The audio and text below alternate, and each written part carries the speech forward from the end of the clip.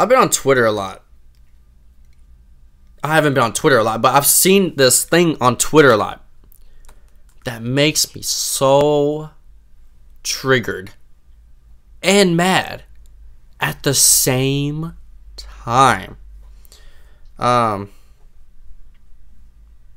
uh, let, let me just say this. What was it? What was it? I've seen this tweet so oh my I'm so triggered right now. They every five months, five, every six months, I'll say this twice a year, every six months, there's rumors of oh Childish Gambino and Chance the Rapper working on a collab album. Oh, really? Because I've heard that since 2013.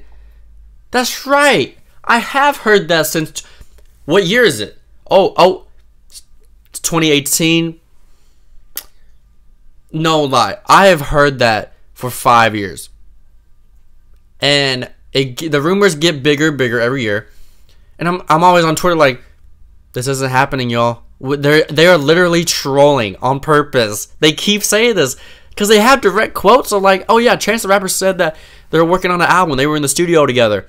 Yeah, they're because they're like they're friends. Like they they grew up together, but they're not working on a collab album.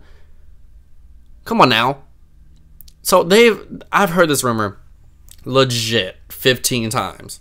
Maybe okay, maybe 10. 10 times. Nothing happens. And people fall for it all the time. It's so triggering. Same thing with like well, okay, this is actually legit, but every now and then you see on Facebook like, "Oh, Friends is coming back. The Office is coming back." It's not. It's not coming back, y'all.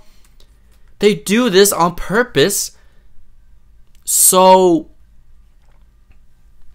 you think of them and they're like, "Oh, we got to got to catch up on the series." You know, it doesn't happen. And people need to realize that that they are being played. Like it's when a girl is playing you, but you don't see it. Like it, it's it's triggering, especially the childish Gambino ones, because they are two of my favorite artists. So I really went to research, and they after those rumors, the like first five times, I was like, oh, it's finally happening. But after the like after 2015, I was like, something is up. They're not. They they've been legit been saying this for two years, and three more years, five years. They they're saying it again. It's I don't know. I don't know. It is it is triggering. Triggering. Wow, that was a yawn. I don't get it. I do not get it. Don't get it.